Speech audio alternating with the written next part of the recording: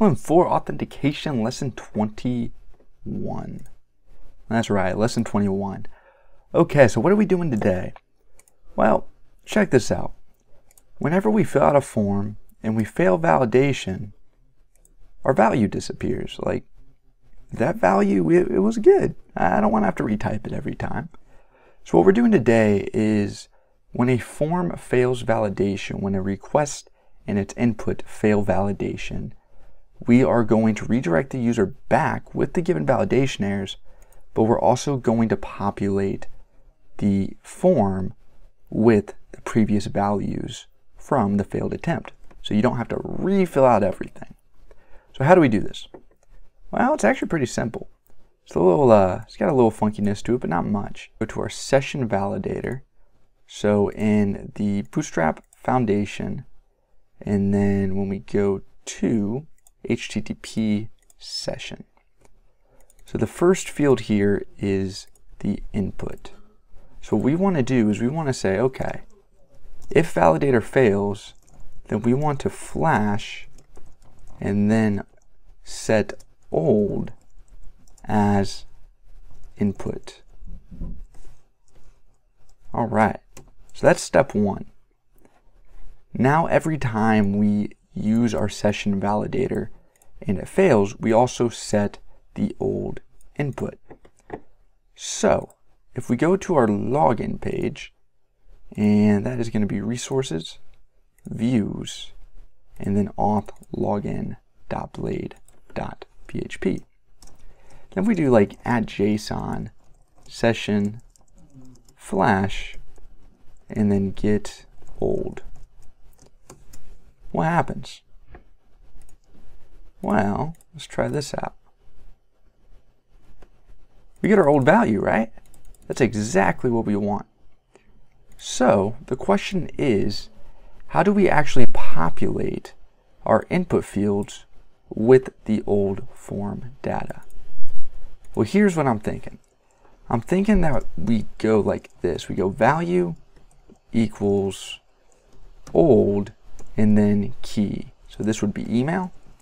And then password's kind of a weird one, but for the sake of example, we'll populate it and we'll say old password. Just like that. Okay. So to get this set up, that means we have to add a global helper function. Now this helper function is going to be called old. Pretty simple, pretty straightforward. All it's going to do is it's going to say if no function exists, if we don't have a function called old yet, let's register it. And then let's do function old key. And we're going to say input equals app. Oop, not quite. What we want to do is we want to just say, okay, session, and then get, or sorry, flash get and old. So that's going to be the input, right? And so we just want to basically say for each input as field as the key and value as the value if key equals value return value. All right. Otherwise, don't return anything. You know, don't do anything with it. So let's dump our auto load.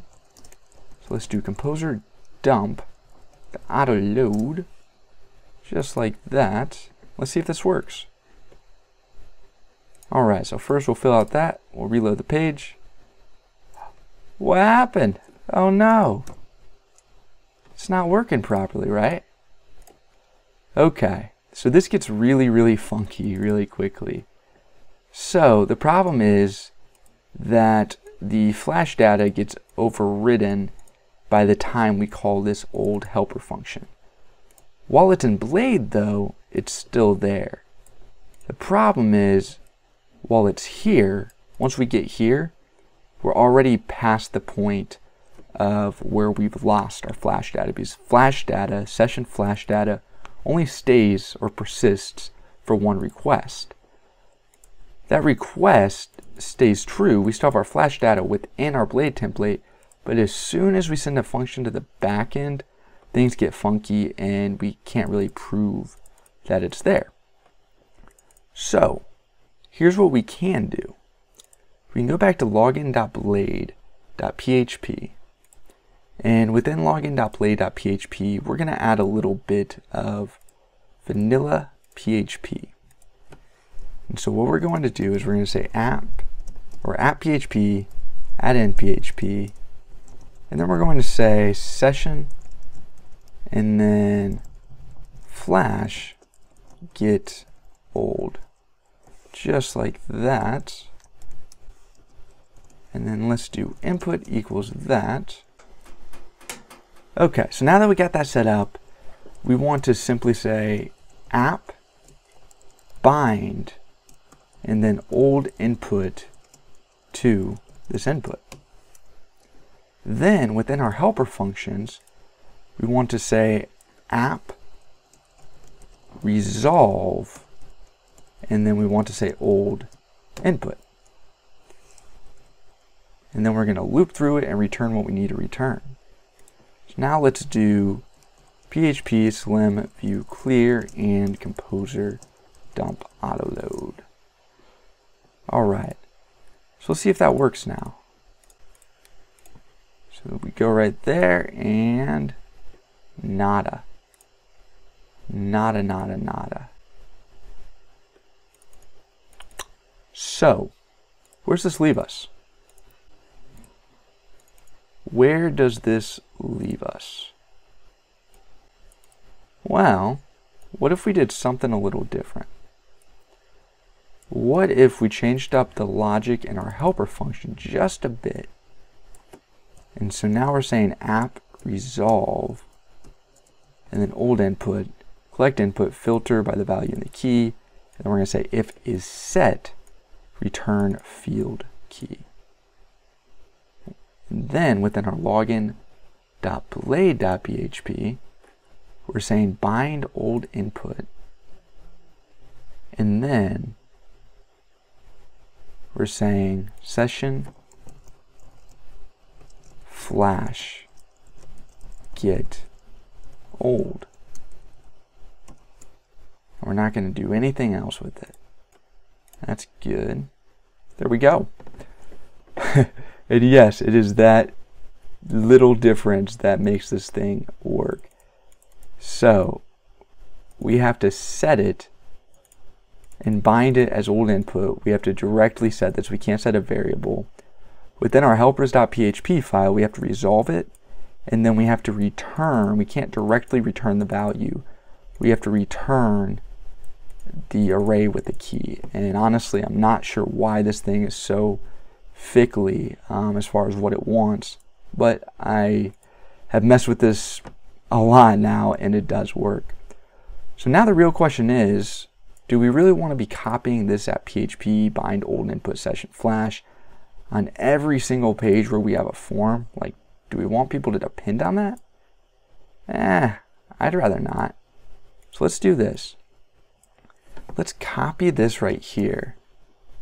And let's go to our uh, providers and let's go to our Blade service provider and let's just add a new directive. We're going to call this old. And then we're simply going to say PHP and then da, da, da, app bind old input session flash get old. And then we'll close that PHP tag and la la. Then Instead of doing that PHP tag up there all the time, we can go down here right above our CSRF and we can simply say old. After that, we will dump our auto load.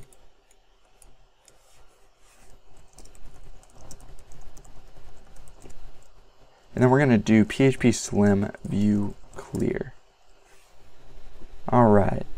So after we get that set up, let's try this again. Oop, unexpected and login.blade. syntax error, unexpected semicolon. What do you want to bet that is our directive? So bind right there. Forgot a semicolon or a parentheses. All right. So let's go back and let's go back to login. Hey, there we go. Hey, it worked. Um, there it is. And of course, if we want to switch that up, we want to do secret, just like that. And of course, if we submitted both, then we would actually be able to log in. Um, so that is how you do that. But there's one last thing. Every time we have a form, we have to use this at CSRF or we can't submit form data. We cannot have a form on our website without at CSRF. So, although this kind of breaks single responsibility a bit, wouldn't it make sense just to add that old expression, that one liner, to the CSRF expression? So check this out. So right now, if we completely remove that and we reload our page, whoop, uh, class not found, old input. Of course, it's not found because we're not binding it. So that's properly working. So what if we just take this snippet right here, remove that all together, and then we scroll down and we say, okay, echo replace replace, and then we're also going to say, so after the semicolon, we're going to add the app bind old input session, flash get old. So now on every single form, we're getting our old failed input, right? So now let's do composer dump auto load. Let's do PHP Slim view clear. And let's see if this baby works.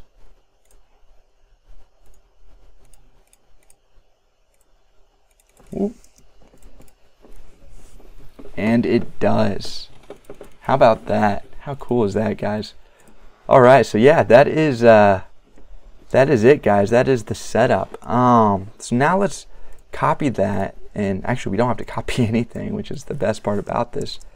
Let's go to register.blade.php, and all we're going to do is we're just going to say, you know, we already have the CSRF, so let's just do value equals old first name, and then we're going to do value equals old last name. Ooh, no, PHP Storm don't freeze up. All right, there we go. Then we're going to do value equals old email. And we'll leave off the passwords. So we don't have to auto-populate all of our old form data. So we're just going to go and leave that as it is. You have to retype your password and confirm password. And on login.blade, we're going to do the same thing. We're going to remove the auto population of password. So if we do a composer dump auto load and PHP Slim view clear one more time, then we reload our page then we go to register. And we go ms da da da and then a dot t dot net or at net dot com and we'll just make these different passwords which will fail validation. Password does not match same. Ooh, I have an error right there. So then if we do do secret secret, and we'll do test, uh, test test, and then test at example.com. The passwords are secret. Of course, if we register, we are now logged in as welcome test. And so, we did not have to do all of the re typing that we already did. It's a, that's a lot better user experience, especially when you're developing. So now if we log out and we try to log in as that user, that does work. All right, guys, so that is all I got today. That is repopulating failed form request data with the failed request input. This is Zachary Horton with Clean Code Studio. Clean Code, Clean Life, Simplify. Simple